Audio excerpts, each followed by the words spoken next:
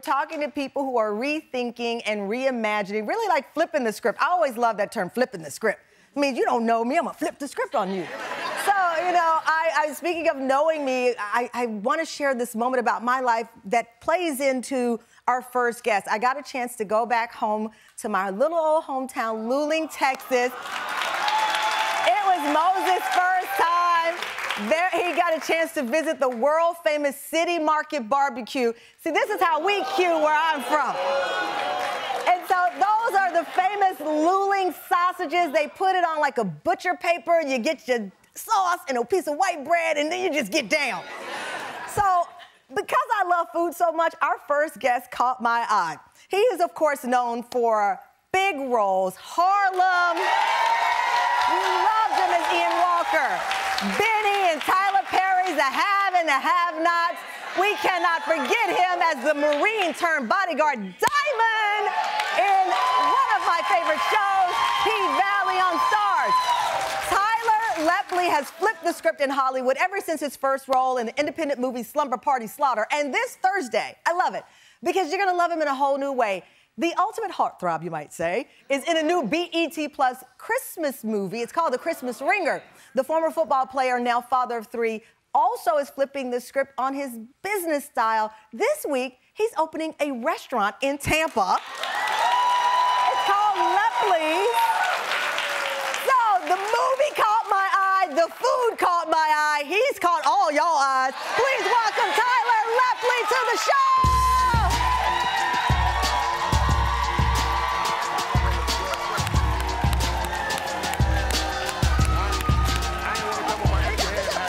Welcome back! Thank you so much for having me again. How are you? Congratulations! Oh my God! Okay. Listen. Okay.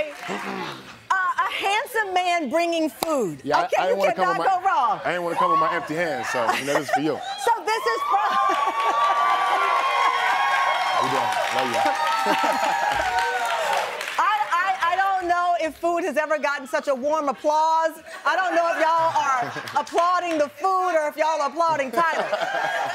Um, sir, congratulations. Thank you. Thank you so much. I really appreciate it. Oh my God. Wait, Y'all- man, y'all wanna try a this is a live show. I got the chefs in the back. I got y'all. so, I, I already know now from this reaction, the restaurant's gonna be a hit. Oh, it's off the chain.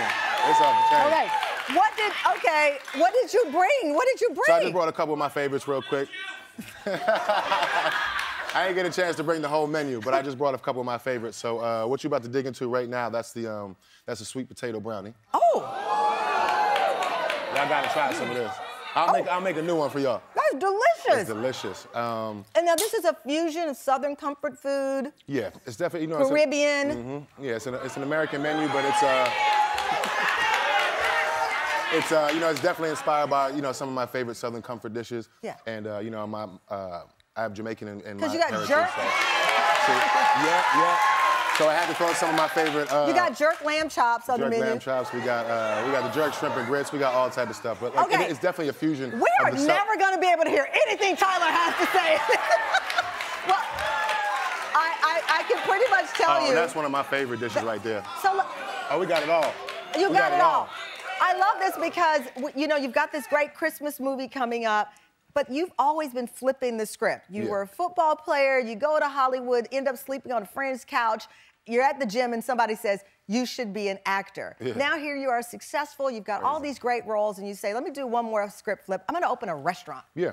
Um, you know, so we just, you know, I've always, I've always been um, conscious of just, uh, you know, expanding my pro, uh, my portfolio and just, you know, raising my overall business acumen and just trying to get some some mailbox money. You know what I mean? It's cool. It's cool. it's nice to be able to, you know, make money in one in one lane, but at some point you got to be smart enough to have the money make its own money. I love You know what I mean? Um, so that's, you. Yeah.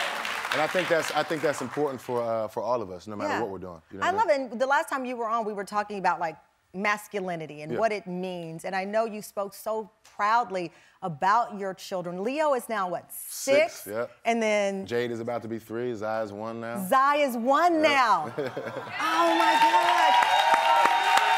Right, right. Oh, trust me, my between between the shows and the restaurant my three kids, my hands are full. Trust Your me. hands are full. Yeah. And I mean, you, you just do so many things well. When you look back at like the plan, right? So you're at the gym and somebody says you should be an actor Mm-hmm. and you start making the moves, going to classes, training, doing those things. Was this the plan? Um, you know, I can't I can't say that that you know in hindsight back then it was the plan, but I've What always, was the plan then? You're like, the- I just want to know, the- roll? yeah, the plan was just to, to to search for a better life. Oh. You know what I mean? So, you know, the one thing about about trying to find your way to the top of the mountain is like you don't have to see the top of the mountain. As long as you see that step in front of you, that you just take step by step. You know what I mean? And that's that's really kind of how I got Yeah. here. How much does it change though once you become a parent, right? Because you have your goal list pre-child Yeah. and then post-child. Then you got a one-year-old, so that means Yeah. you're gonna be working for a long Oh, time. me, uh, Miracle and you on P Valley together, just brilliant. Um, you. That, that show is one of my favorite, but you know you. I appreciate that. But how do the stakes change once you have a partner that you love, you've fallen in love, and then you have a baby with that partner? Yeah, um, you know, whether it's a um, whether it's any role that I play or you know any any uh, relationship that I have, uh, whether it's with a, another person or myself, Yeah. family member or whatever, you know, I've always understood that like you know relationships will always redefine themselves. You know, Mm. even the relationship I have with myself and my work. So as things uh, things and you know family, Yeah. uh, you know, kept getting bigger. Um, you know, that's on me to step up to the plate as it as it grows. You know what I mean?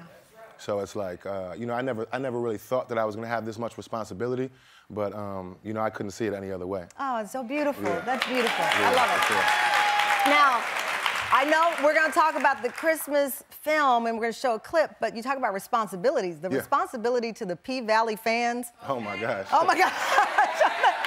Listen, they're already talking. The strike had everything slowed Yeah, down. So the strike is finally over. Right. Yeah. We know my hall sister is busy writing and all of that. Shout out what, to what, Katori, yeah. Katori, what, what, what can we expect? What- Any I- glimpses of what's going on? Well, yeah, she's pretty, you know, she's pretty tight-lipped about the the. Um, Even with y'all, because I can, we're late. We have the same last name, and I call Katori like, "What's up?"